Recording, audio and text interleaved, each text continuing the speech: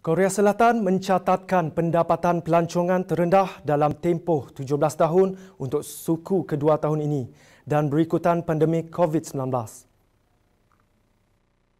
Bagi tempoh April hingga Jun, Korea Selatan mencatat pendapatan pelancongan 1.1 bilion dolar Amerika merosot 78.6% daripada lebih 5.57 bilion dolar Amerika pada tempoh sama tahun lepas. Jumlah pelawak asing pada suku kedua 2020 mencapai 970,000 orang, berkurangan daripada 4.6 juta orang pada tempoh yang sama 2019.